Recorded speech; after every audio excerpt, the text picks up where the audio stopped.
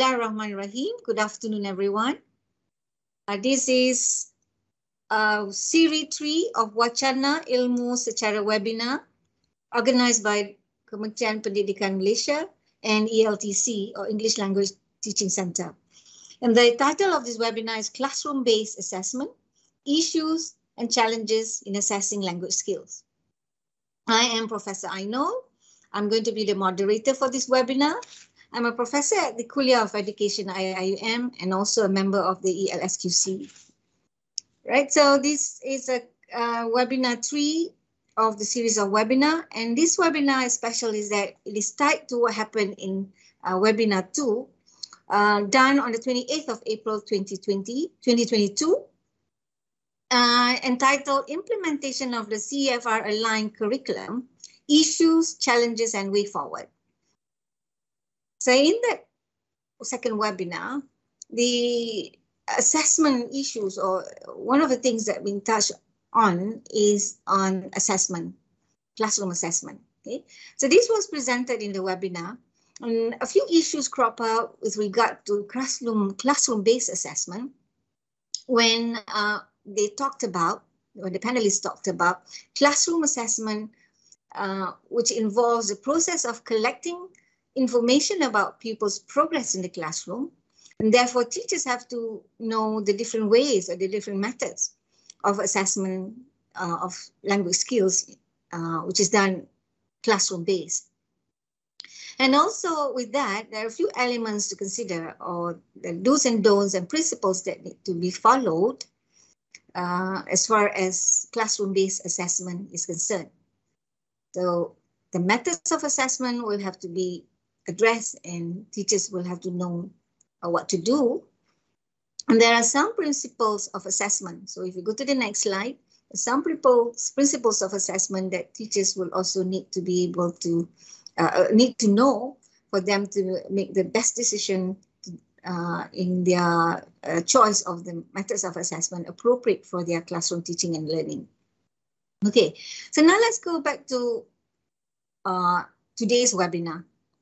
Since I said that this is a continuation of the second webinar as far as dealing with classroom-based assessment is concerned, we know that with the introduction of the new English language curriculum, which is CEFR aligned and therefore action-oriented, and as we saw in the uh, overview of classroom-based assessment in the slide uh, presented earlier, teachers' uh, approaches in assessment will have to change following the paradigm of school-based and formative assessment.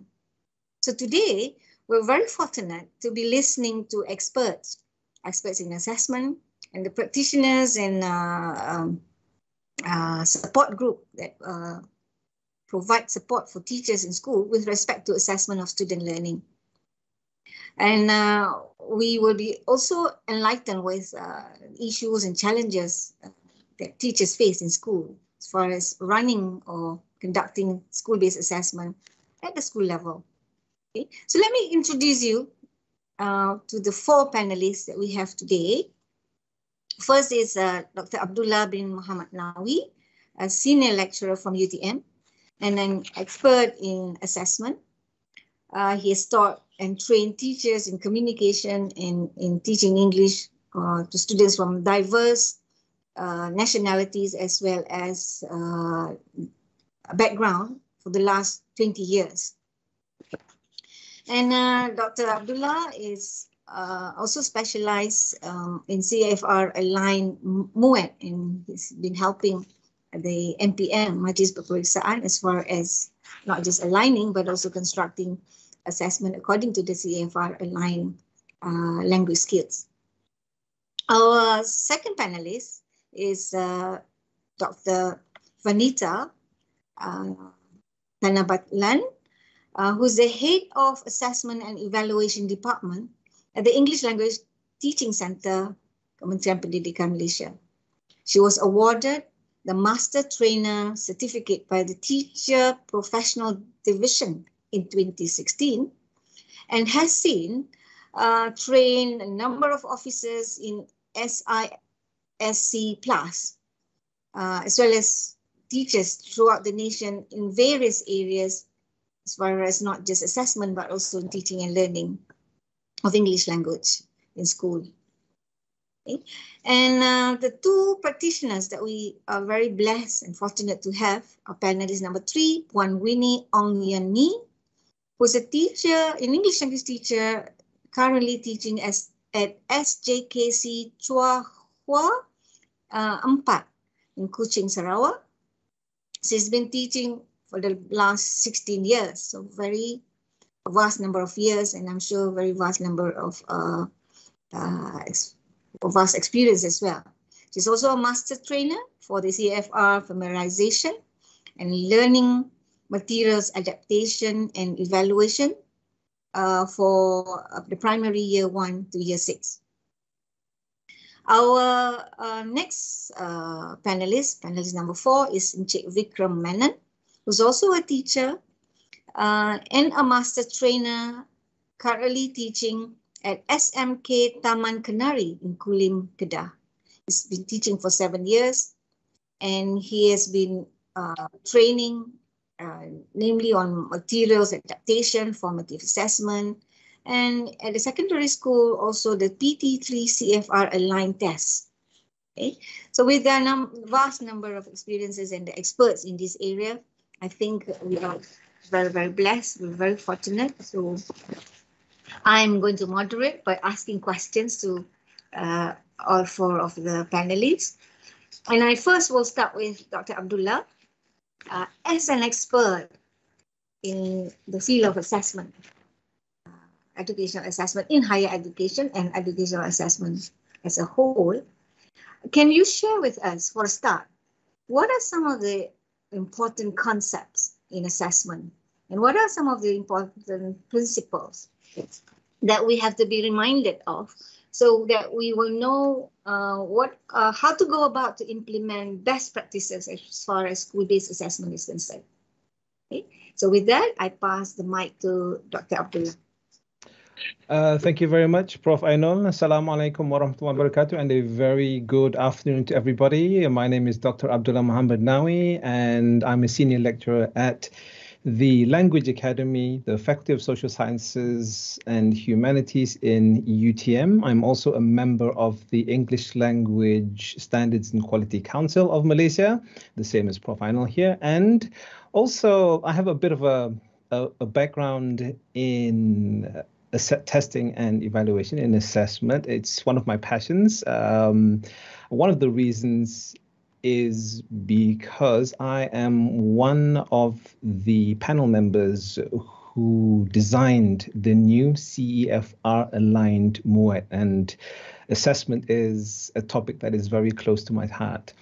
Um, so let me begin by starting with the basic uh, concept of uh, formative and summative assessments. Now, I'm sure that many teachers here have uh, are familiar with these two concepts where they exist in a spectrum and they exist in a spectrum, and on the one hand, you have the formative assessment, and on the other hand, on the other side, you have the summative assessment. But first of all, in order to understand what exactly they are, we have to break it down, break them down to understand what do they mean. So Actually, it's actually a very simple thing to do. So if we break down the word formative, then we can see that the word form is there. Form, forming, formation.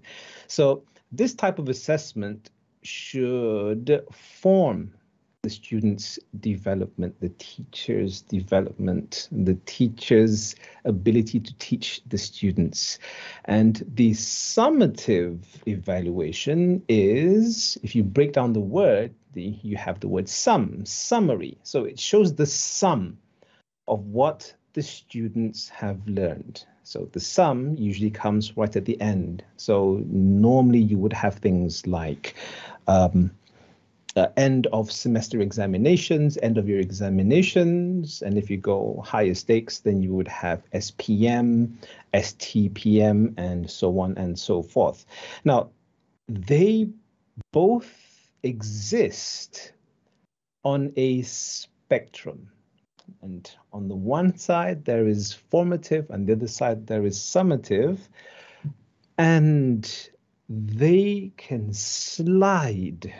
And that's one of the concepts that we're going to be looking at today because the whole thing gives at both formative and summative assessment, they have their role to play in the holistic assessment of a student's ability.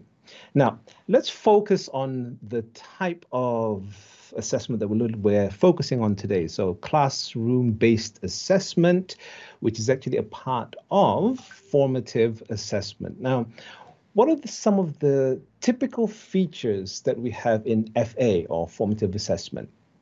And uh, number one, they help teachers identify students' ability and understanding closer to real time. Now, what does that mean when I say closer to real time?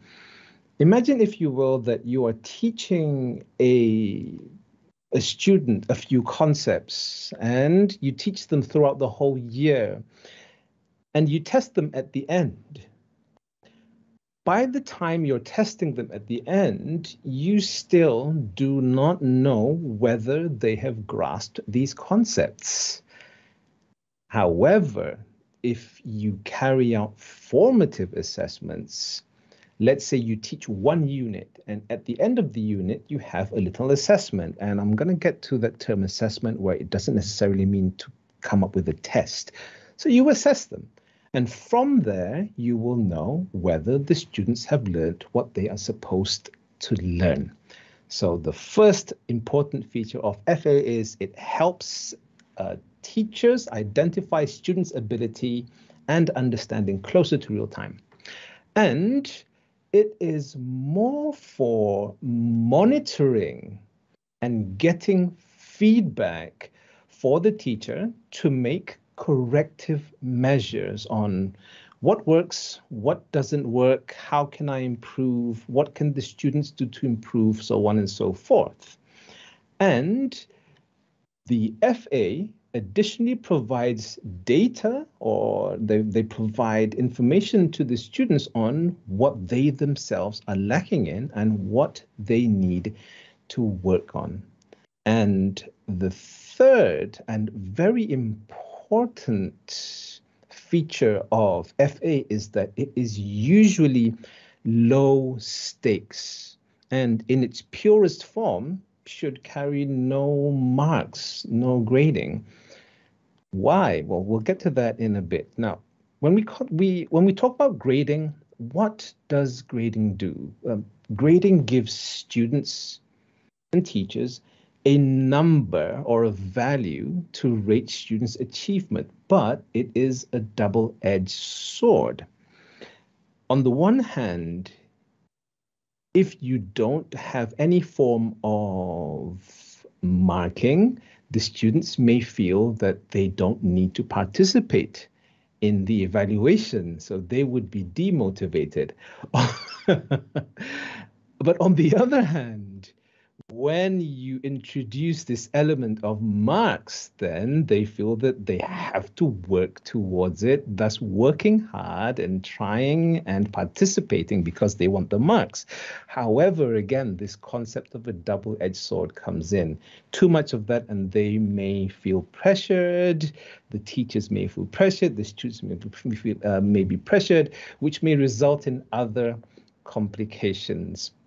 Now, the the FA we have at school, as far as I understand it, carries marks. It's not pure FA. It's where you have the formative assessment, but at the same time, they're graded, and these grades carry across right up until the end, uh, the end of the semester or the end of the year. And what this is now is that we slide up the continuum a little bit. So this in turn is actually a form of formative summative assessment, but it's still within the realm of formative assessment. And this is where CBA lies. Now, if you look at the philosophy of uh, FA, the focus is on forming, formation, and feedback to the students, to the teachers, where even the simplest act of asking students to raise their hands, do you understand this? Yes, I do, or no, I don't. That itself is a form of FA. So now you have some idea that FA doesn't necessarily mean having to come up with complicated tests. Simple things like asking students what they learned, writing it down, doing an exit ticket of some kind. Now, these are some forms of FA. Now, why do you need this? It's because these so-called assessments, they inform the teacher of the minute details of progress in the students and thus enable the students to make whatever improvements that are needed to make the teaching and learning process better. And I believe that teachers do this all the time, right?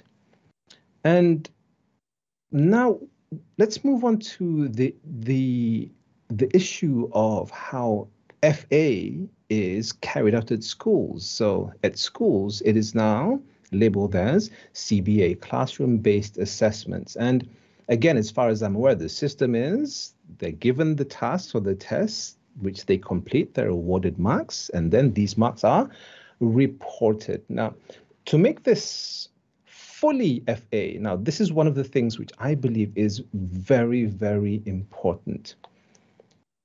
FA or formative assessment does not exist just as a form of assessment. There needs to be a follow up to what is done with the results of the assessment. How does this affect the teaching? How does this affect the learning? How are the findings shared with the students? What do you do with the findings? What do they do with the findings? Thus, a feedback loop that is introduced by this is very important. Can we go to the next slide, please, once again?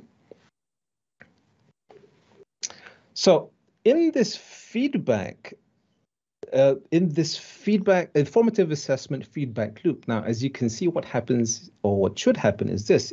FA does not exist just as a form of, okay, assess the students, let's get the marks, thank you, bye-bye, and let's come to the next one. That doesn't make it a complete round of FA because the most important thing to do with FA is you obtain the results, you ask yourself, how much do my students know? Which then leads to how can I improve my teaching, which leads to how can the students improve their learning, which leads to again, how do I test this? And then you obtain the results. So within FA, the concept of feedback and making corrective measures is very, very important. And this is why FA should not be something to shy away from. In fact, if you look at it this way, it should be something that is looked forward to because then the student will know, have I learned what I need to learn? And if I haven't learned it, then my teacher will now know what I don't know and will then make me know what I need to know. So this is where the value of FA lies. Now, it should be embraced and not something to shy away from. But that doesn't mean that there is no room for summative assessment. It's a balancing act and this is something that uh, people who are familiar with testing and evaluation are greatly familiar with because there is no perfect test, but that's another topic for another day.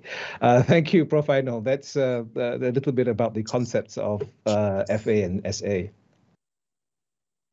Right. Thank you, Dr. Abdullah.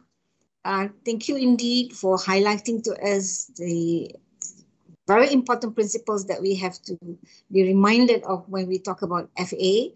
So you mentioned about the formative assessment in its purest sense is not about giving the grades, mm-hmm. but in practice, the formative assessment lead to uh, giving marks or points to the uh, students in such that it becomes a summative in nature as well. So this is where reporting has to take place. Mm. And um, apparently, what is happening in school is is is that that teachers have to do reporting of uh, students' progress or students' achievement uh, in the classroom-based assessment practices. So, what is your take on um, this reporting thingy? What what, are the do's and don'ts such that this reporting is not going to be a burden to teachers in school? Okay, uh, thank you very much, uh, Prof. Know it's, it's a very interesting question, and it's one, and the answer may make me popular in one circle and hated in another. we'll see what happens after this. So, I have two views on this, and number one is the view of pure FA, meaning to say that the assessment is for monitoring and feedback. Now, for this pure FA, I don't believe that we should have any type of marks associated with the FA. The FA exists for monitoring alone and feedback alone. It's more of the students have achieved this, then the teacher then can know what to do. So not so much of the marks, but maybe scales of what has been achieved and more of the notes, more on the note side. What do the students need? So I believe that this is this is more important. What do the teachers intend to do as a result of the feedback? So when I talk about pure FA, it's not so much for the ministry, is not so much for the higher ups, but rather it's on a micro level where this is what's happening. Teachers can then take whatever that whatever you need, whatever they need to do. However, now again, however, this ties in with the second view that I have on the matter, and that is that, especially currently right now, there is a vacuum uh, that was left behind with the abolishment of these high stakes exams. For example, the abolishment of UPSR, PMR, PT3, and thus the question then goes to but how do we know they've learned what they should have learned? So, like it or not, again, I talk about the concept of balance there, and uh, and balance is a very big issue when we talk about assessment. There needs to be evidence because then how do you know that they have learned? What's to, what's to stop the teacher from writing something down and then not really writing down what's really happening? Or maybe the, the teacher is ill-equipped to write down what they're supposed to notice and uh, there's this part there's this whole question on training and standardization and so on but there does need to be some form of evidence collection. And this is something which is a sore point because here, on the one hand, I concur, we need the evidence. Where do we get the evidence? From the teachers. But being an, a former teacher myself, at secondary level and now at tertiary level and uh, being involved in various parts of the machinery of the uh, education in this country and the fact that my wife is also a teacher the truth is that there is just too much to do. There is too much evidence to collect, too many forms to fill in, too much to upload, waking up at 3 a.m., uploading system crashes, crying the whole night, waking up again and crying again, soft copy, hard copy. And there does appear to be a lack of standardization across the board. Now, I know the answer to this is, but there is standardization. Yes, there is a push for standardization. However, if you ask practicing teachers on the ground, you can even ask from school to school. You will find that the interpretations of the procedures may vary, all depending on how the pengetua or the GPK, how do they like it? If they feel that what the ministry is doing is not enough, I'll give one example. These are these are real everyday examples. Uh, the system that, that that is needed is is online, but they're not familiar with all these things. So what do they do? They ask this, the teachers to print out everything, fill in online, fill in offline. Online uh, has been uh, uh, uploaded, offline put in a, a, a folder, send it here, send it there. So you end up, the teacher ends up teaching for 30% of the time and 70% is done on these other things half of which don't make sense. Now, this is where we as policymakers, we need to find out what's what's going on. How do we support these teachers? How do we support the process? How do we simplify the process? How do we upgrade the infrastructure to follow these changes to be upgraded in tandem with the simplification of the process. Now, it's a, it, it's a very hard question to answer, Prof. Know, like I said, the reporting.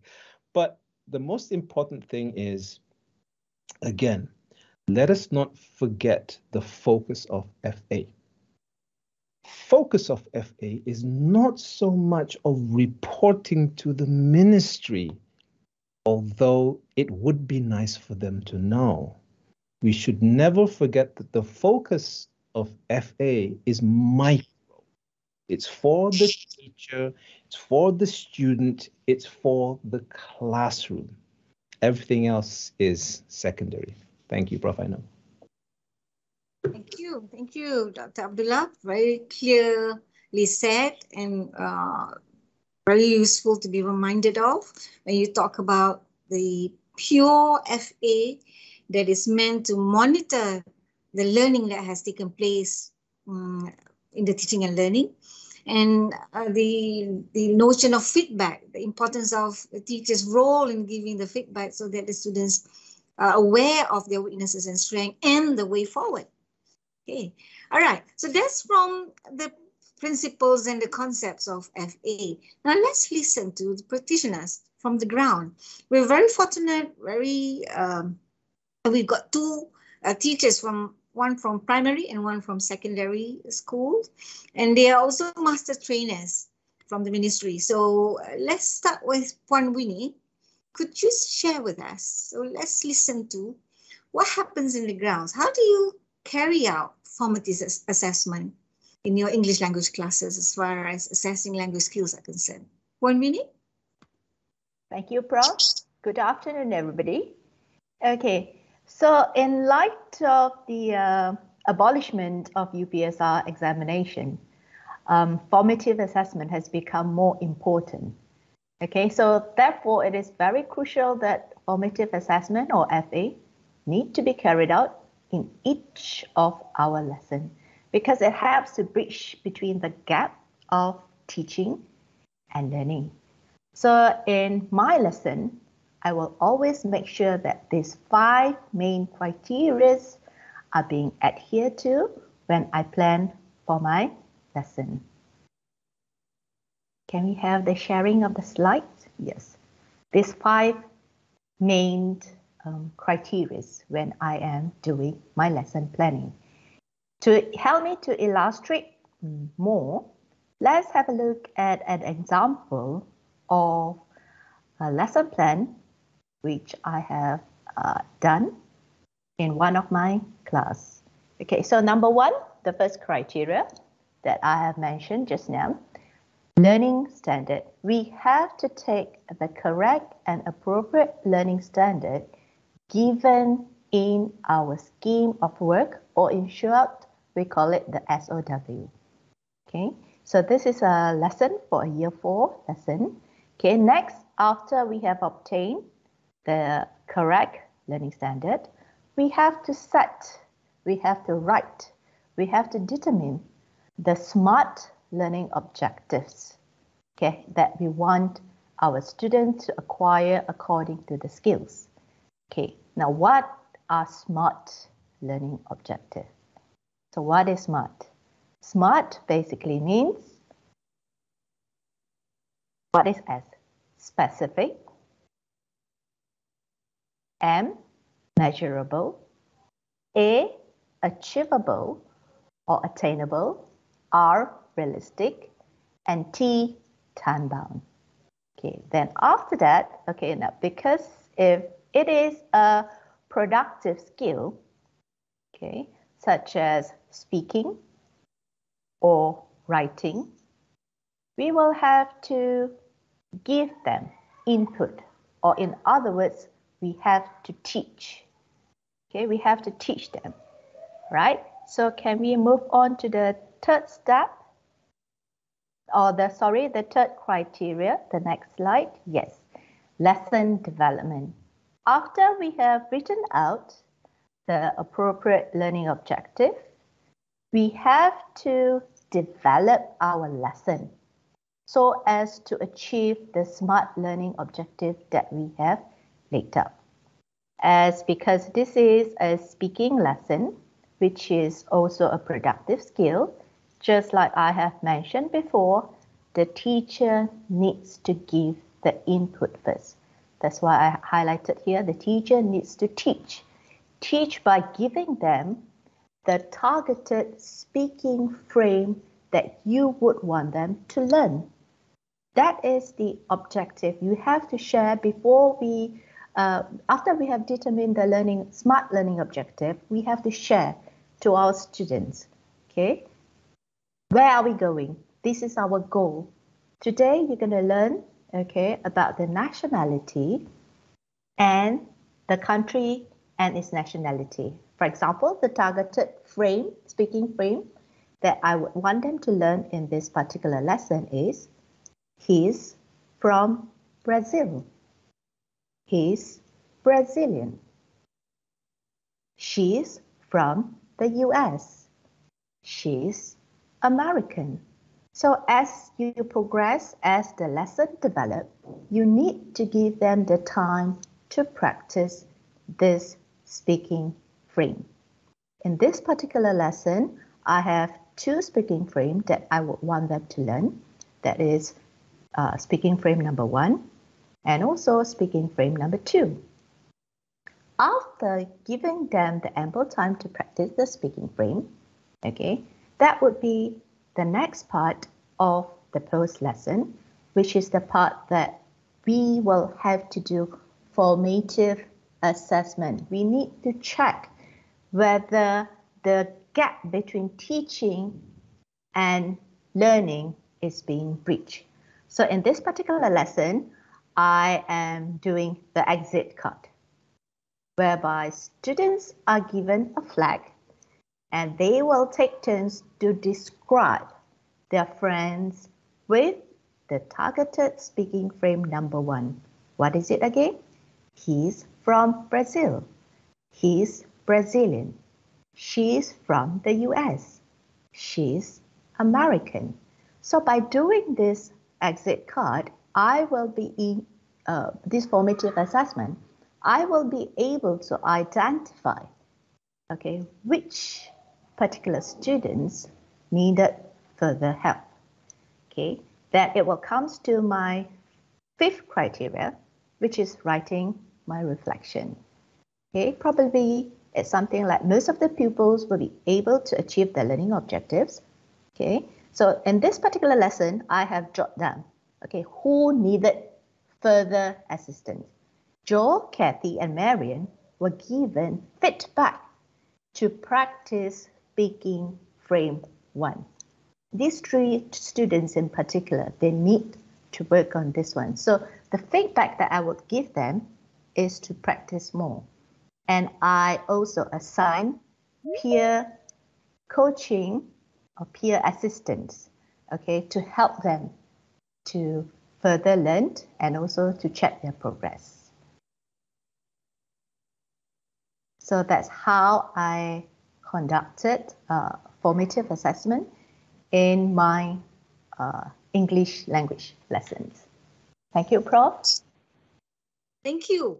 A wonderful exemplar of uh, uh, how uh, using your lesson plan, uh, showing us the process of the teaching and learning, leading to your the choice of the assessment that took place at the end of the lesson, and particularly ties back to what Dr. Abdullah I mentioned earlier, the objective of this assessment, the choice of assessment that you you uh, took or you chose was uh, for formative, that is to inform or to monitor that the students have achieved the objective of the lesson of the day, right? So wonderful example, and we would uh, uh, learn more and would like to see more if this is happening or how this is happening or how does it happen at the secondary level. So with that, um, I would like to welcome Encik Vikram to share uh, your uh, experience and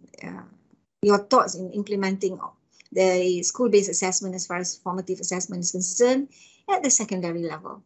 So the mic is yours, Encik Vikram.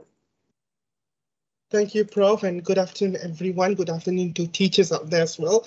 Thanks for joining with us.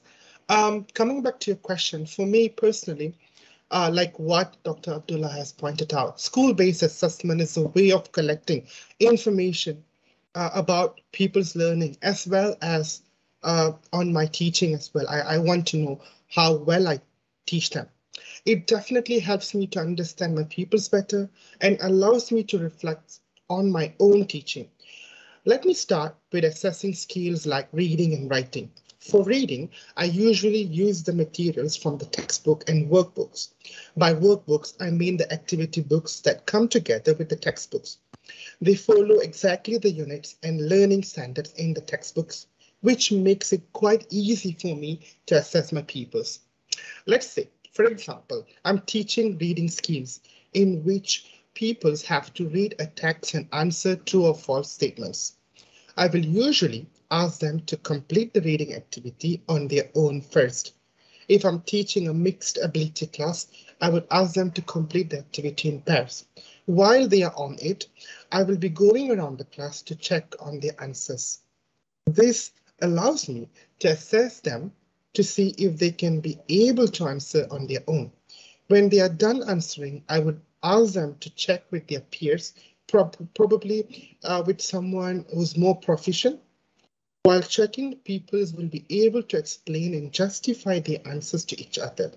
Then I will ask them to put down their final answers on mini whiteboards. And this helps me to check their answers quickly across the classroom. While discussing, they can be also be able to mark their own answers on a mini whiteboard. This can also be a form of self-assessment. Now, uh, whereas for writing, I seldom have any problem with assessing writing skill. I usually ask people to do their writing exercises in their exercise books. Uh, I encourage people to check each other's essays or emails, but of course with a checklist. I'll provide them with a checklist. Uh, let's say I'm teaching them to use uh, teaching them to use the punctuation marks uh, accurately. When they are done with writing exercises, I often ask pupils to mark their friends' essays or emails using a checklist I give them. By checklist, uh, checklist, I mean a list of punctuation marks that I want them to use in their writings, often to check if they're able to use them correctly. Uh, I have no time to check them one by one, so I tell my pupils to check it for me. It makes my life and job easier. I also ask people to do gallery walks to read and comment on other people's essays. So far, these are among the things that I've been doing uh, in my class, in my lessons.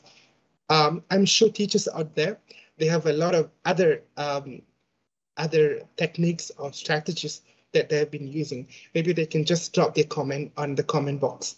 And, and that's all from me. Thank you.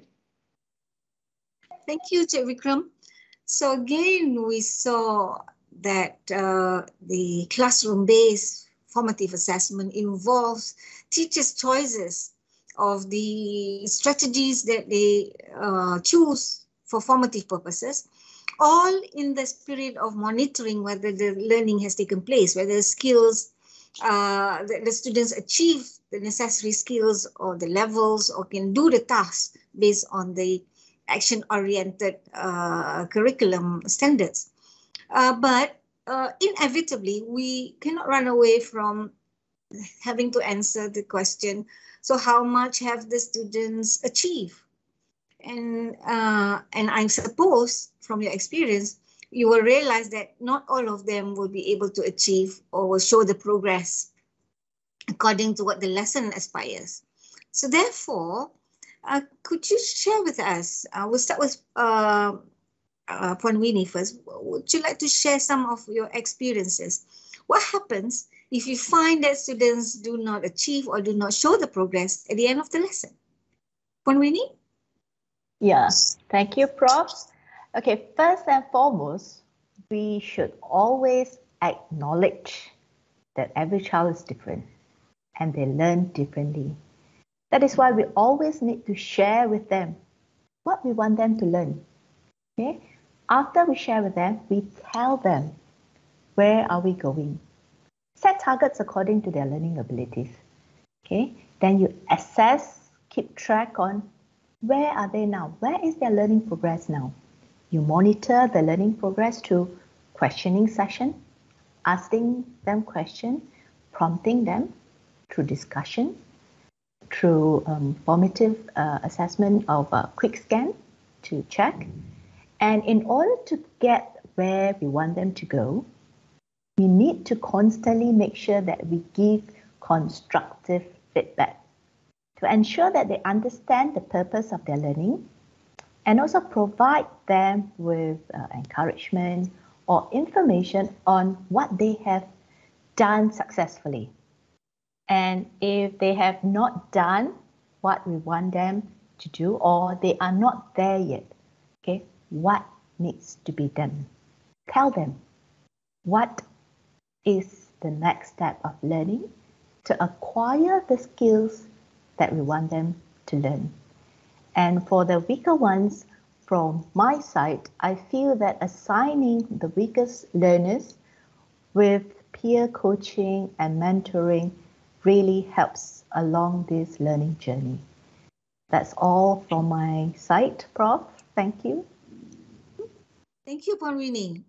so this ties back to what Dr. talks about the principle of FA, which is not about achievement to compare students, but rather we want to monitor progress. So the practice of uh, formative assessment to monitor individual pro progress, such that uh, when, when uh, Winnie said, what we will give to the students are feedback and uh, constructive uh, feedback that will help them to know where they are and how to improve themselves. Okay, so wonderful. Uh, Vikram, so would you share with us uh, from the uh, secondary school practices, how do you bridge those gaps? What are not things done uh, based on your experience that will bridge the gap or will help the students in their learning progressing? The mic is yours. Thank you, Prof. Um, I, I, I like the way uh, Puan put it out. Like she said that eh, not every child is same is the same. Every child is different. It the same thing applies to secondary school. Uh, bridging uh, has always been a problem to teachers uh, when pupils who do not reach the required level of proficiency move to the next level. Uh, maybe can I have the next slide on the easier um, I always find it difficult to carry out intervention plans for these peoples while still teaching them the new learning standards. You know, I still have to teach them new things while still give them intervention plans to to reach to uh, to reach the, the the level that they did not reach in the previous year. Uh, but this year, however, I think most teachers would agree with me that the catch-up plan, uh, CUP, like we fondly call it, has been very helpful to us in supporting these weak peoples. The first few weeks of the first uh, school term was spent to address the needs of the peoples who did not achieve the minimum performance levels. So uh, what happens is that what happened in the school is that we were able to focus on these peoples by giving them extra activities in areas where they lacked to help them achieve the minimum performance level or help them learn the skills that they missed during the online classes. For example, uh, for reading, I tried to give them some exercises on certain learning standards they, they missed learning by letting them work with other more proficient peoples. This are surprisingly encouraged, has encouraged them to learn the learning standard with the help of a friend. Though I believe that the, the catch-up plan was initially introduced to support those who did not follow online classes during the pandemic, I think that the catch-up plan can also be a good revision plan for teachers to focus on weak peoples uh, even before starting the new academic year. I, I would be very glad or very grateful if the catch-up plan is included in our yearly teaching plan in future because it gives teachers some space and opportunities to fix problems that people face even before start teaching them the new learning standards. Uh, that's all from me. Thank you, Prof. Thank you, Vikram.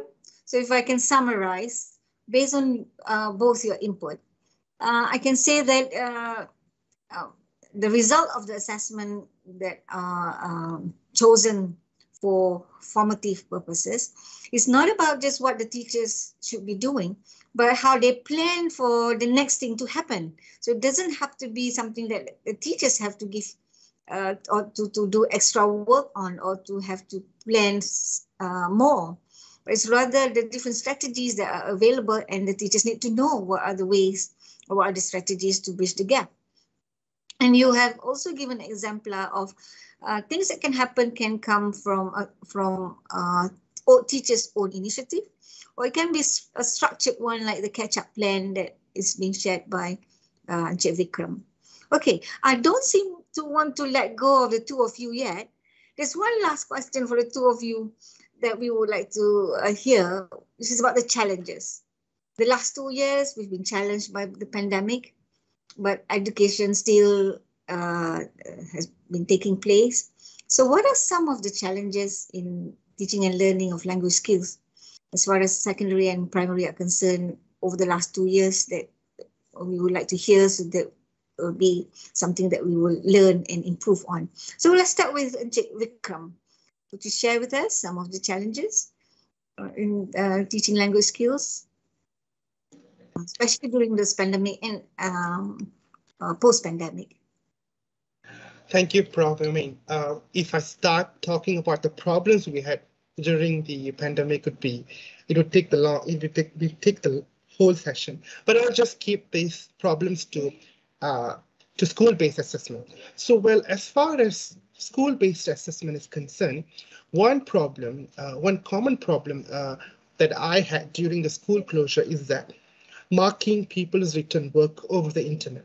I used to tell my pupils to take pictures of the essays or other written work and send them to me through Telegram or WhatsApp. But uh, marking them on WhatsApp and Telegram was a bit difficult and daunting for me. Then I changed my strategy.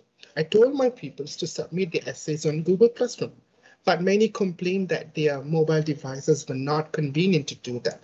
So I sought uh, sorry, I got advice from other English teachers and they suggested using applications like Quizizz and Google Forms.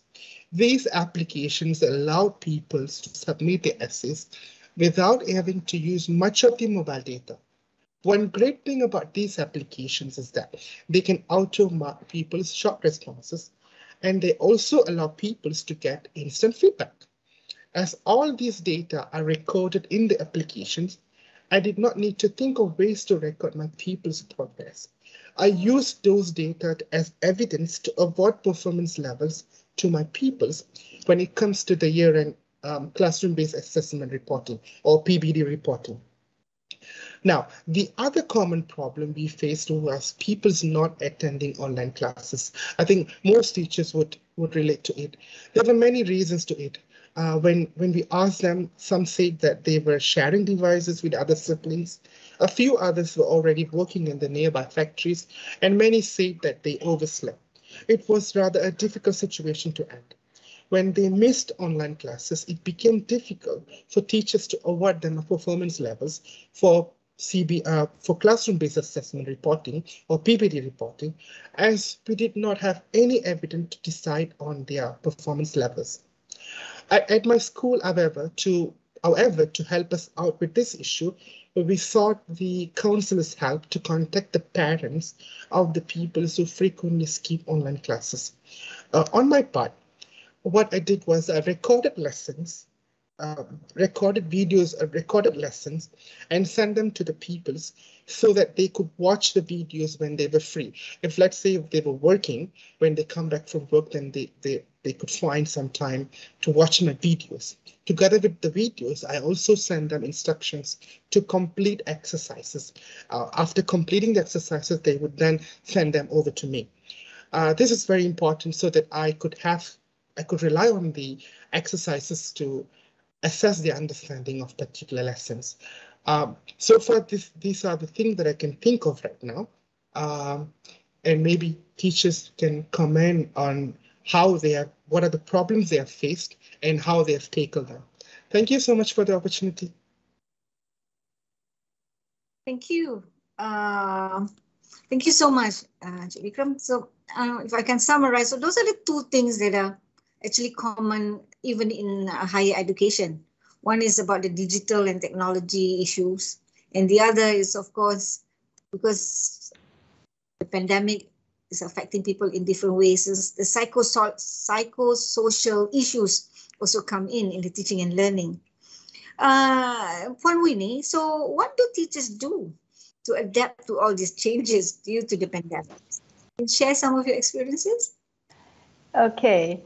All right. On this note, I would really like to applaud all the teachers out there in adapting to the abrupt changes in teaching due to the pandemic.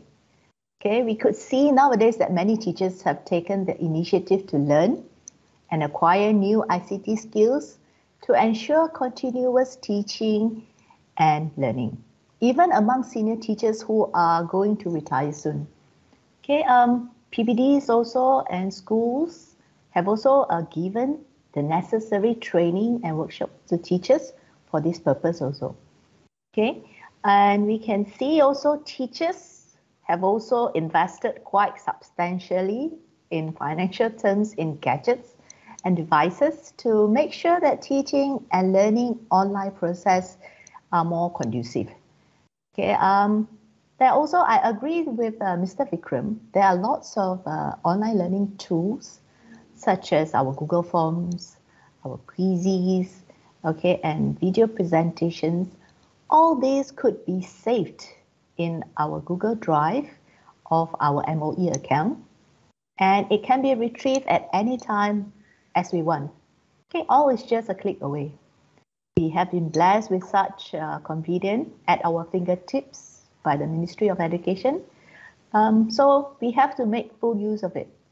In a nutshell, we have to have a growth mindset, okay? A growth mindset to adapt to whatever changes, to adapt to whatever challenges that are thrown to us. I also believe that what doesn't break us will make us stronger. So that's all from me. Thank you, everybody. Probably the teachers would like to share as well how they have um, make the necessary changes in terms of teaching. Okay, thanks, Prof, from my side. Okay, thank you, Puan Winnie. Thank you, from your sharings are all very insightful uh, experiences, very uh, to hear, uh, brings out all the things that are uh, reality yeah, in the classroom. And um, I wish I have more time, but I've got to go to the next speaker, Dr. Vanita from the ELTC. Uh, and um, with you, Dr. Vanita, could you uh, tell us uh, how has, or what are some of the programs that ELTC has in order to help teachers to be more effective in their formative assessment practices? The mic is yours. Thank you, Prof. Prof. Ainol. A very good afternoon to everyone. Yeah, as an uh, in-service uh, training institution, the ELTC is certainly very concerned with the issues and uh, problems faced by teachers with regards to the implementation of the classroom-based assessment.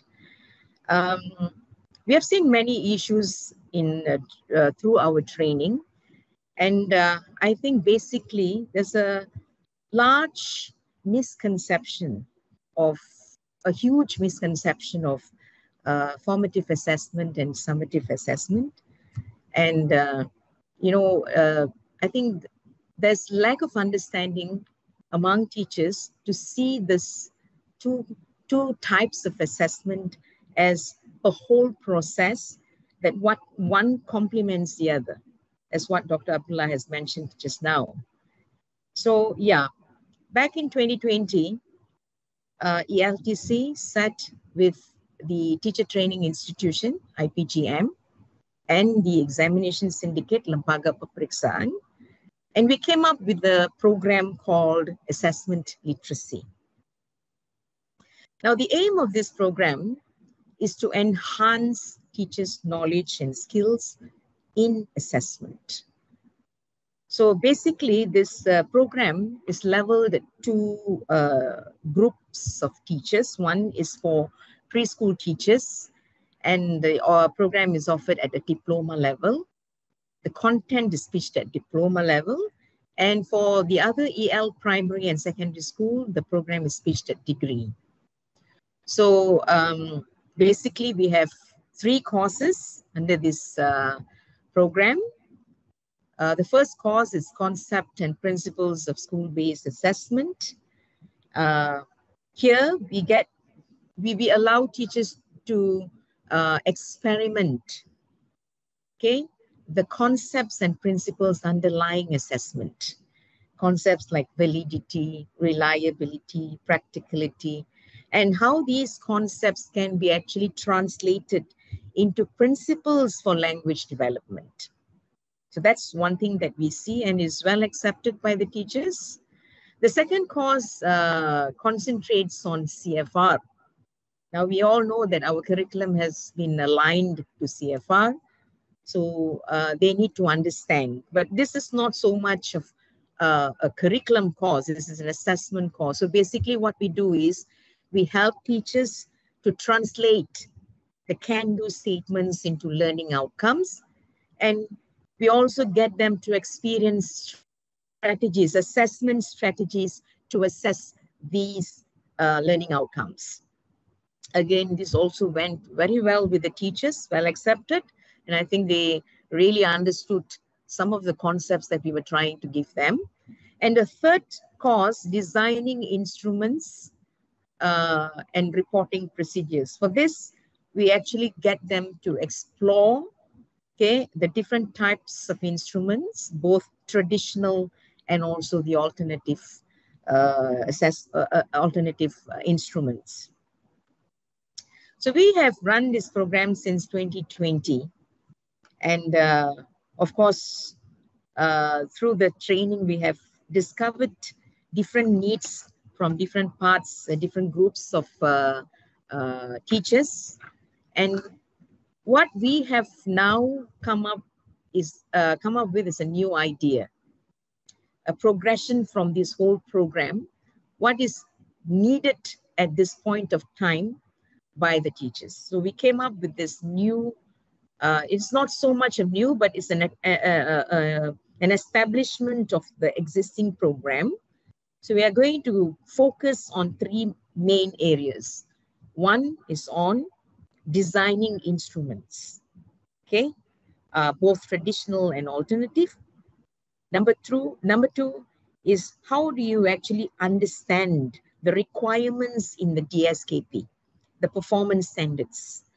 What are the, you know, uh, the, the, the requirements at each level of this DSKP. Without understanding the requirement, you will never be able to assess your students systematically. And thirdly, we are also coming up with a plan to help teachers see strategies on how you can actually make professional judgment. Now, if you're talking about formative assessment, you cannot run away from making professional judgment. So how do you actually make professional judgment? Now, without the knowledge of the above two, I don't think anyone can make professional judgment. So these are the three things that we are looking at.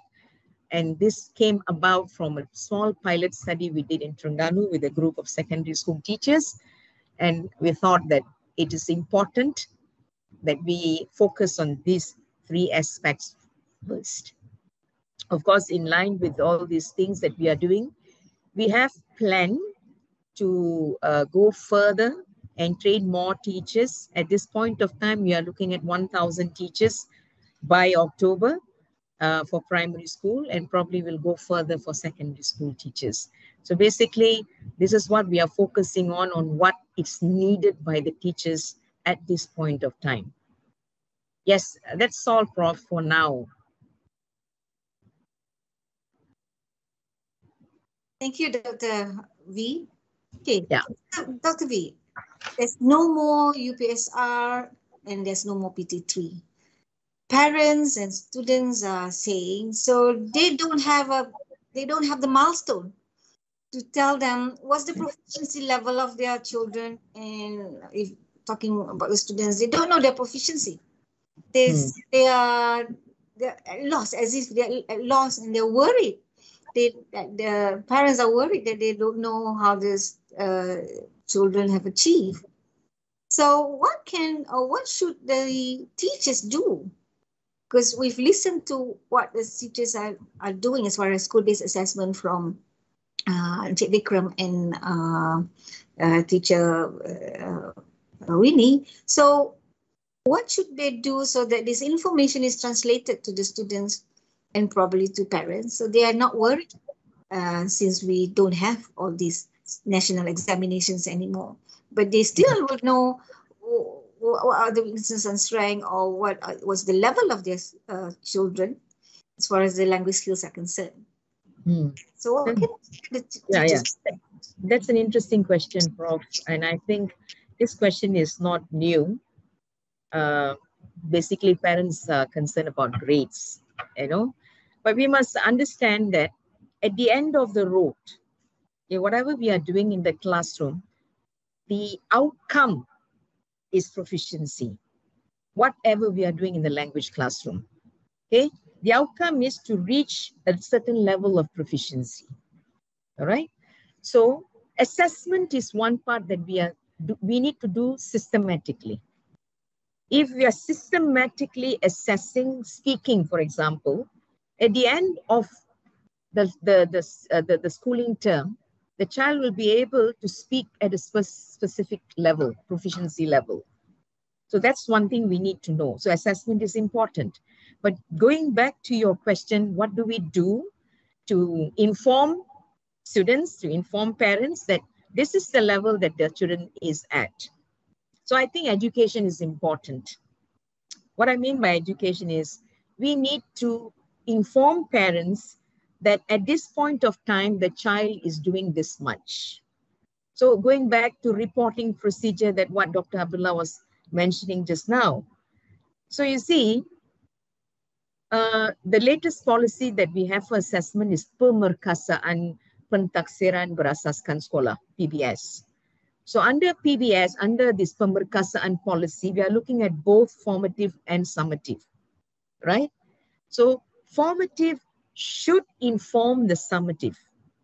So if in February you are saying that the child is able to do this much and the evidence that you have collected is from the flags that you have done, Winnie has talked about, or anything that you have recorded, that's the evidence that you share with the parents and saying, this is what the child is doing.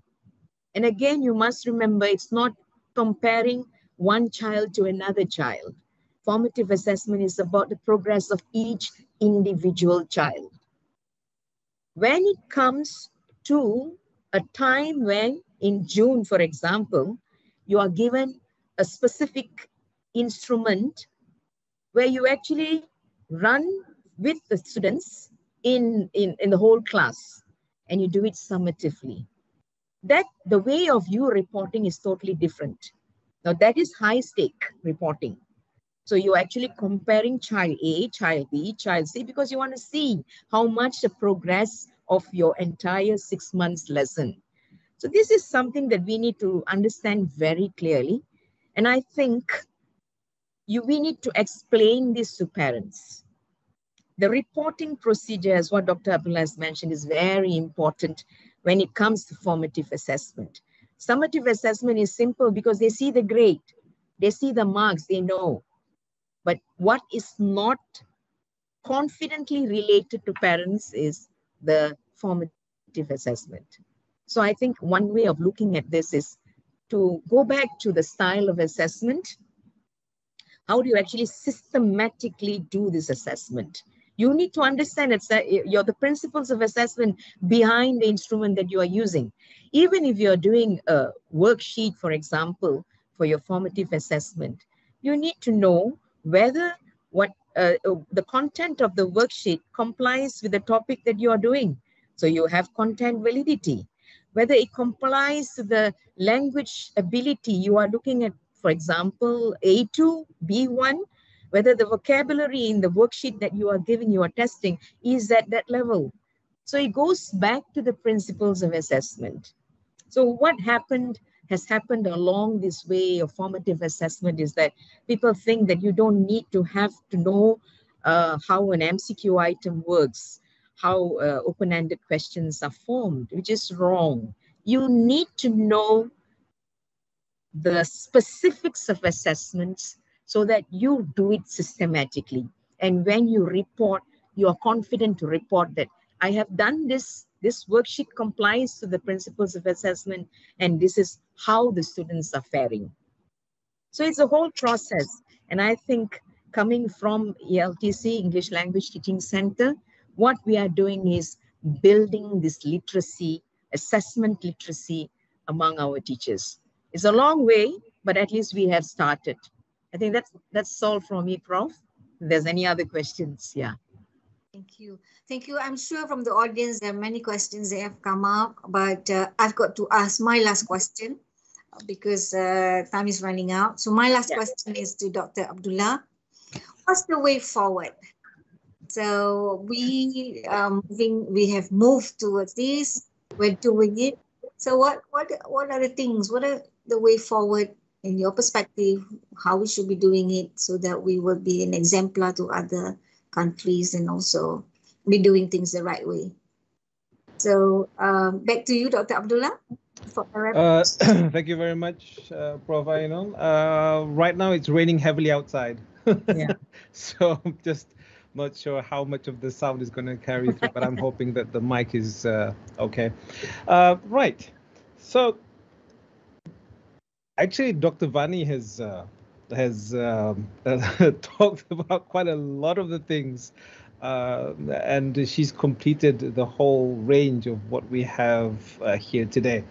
Um, but just let me finish up by um, uh, giving just a little bit more of uh, some thoughts that I have. Um, and again, the, the it could be that my definitions may differ slightly, but the whole the principles are are, are the same. So, um, first of all, when when we talk about now, th- there are two there are two main terms that we've heard being used today. Uh, three. So you have summative assessment and you have formative assessment, so that's that. But you also have CBA, which is classroom-based uh, assessment. So um, right now, uh, for me, in in my understanding, uh, again, between different practitioners, there may be different uh, uh, uh, differences in, in the way we understand certain certain concepts and the way we use them, um, but the principles are similar. So um, I feel that there, is a demarcation between the terms that I've used where, uh, first of all, we talk about FA uh, and CBA. Again, if you recall, um, when I talk about using FA, I talk about FA in the purest sense, uh, which is these minute assessments that help the teacher to see what's going on. And the other one, for my in my understanding of the CBA, is the, the where you have certain assessments that you have to do throughout. For example, physics, they have the PK and and and and whatever, where there, there are assessments that where you get marks and you have to, but they're carried out throughout the whole year. So th that's uh, my understanding of, of CBA. It could be that it's a, a different understanding, but again, it's the spirit of of uh, that's important. Yeah. So um, um, I would argue that CBA is more aligned with the current education um, uh, climate that that we're in, and with CBA, I feel that there needs to be a few more aspects to consider on top of what has already been considered by the panel. And the first is that and I do believe that Dr. Vani has has talked about this. The first is that the teachers and the students, they themselves need to understand um, that because that there are cumulative marks or system of marks, they need to make sure that they participate in the process.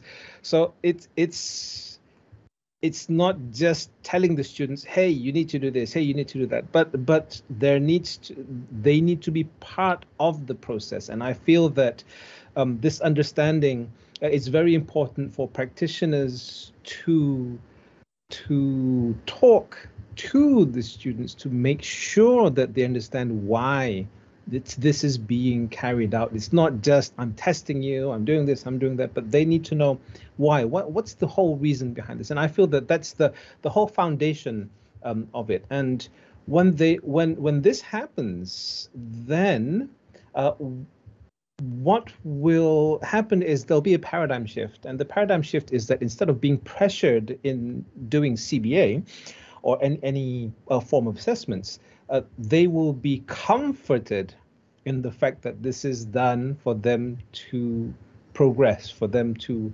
understand more. There's more.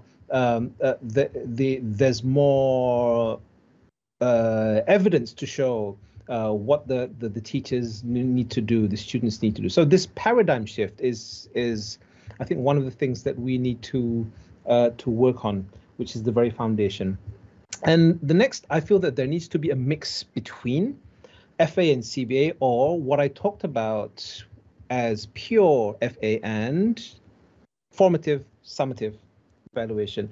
I do feel that you do need these micro assessments, but also I do feel that you need to have some form of assessment where you have numbers and figures and you know there is this um, this uh, point where you can see you've achieved something or you or you've got an A you've got a B to, just to make it uh, just to simplify it so so there needs to be a mix between the two. I don't think that you can do purely like Dr. Vani said before. There's there's no pure.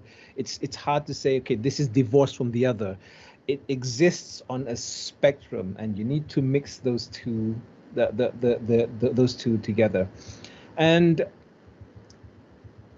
finally or rather the second final point is that there needs to be proper standardization and training. Now again i i acknowledge that there has been this going on but again if you go on the ground, you will find that there are the interpretations may differ between different schools, and I think something needs to be done for to remedy that um, as best as we can. So standardizing the process and as well as simplifying the process the process of carrying out the assessments, the process of uh, collecting the evidence and showing that there's learning.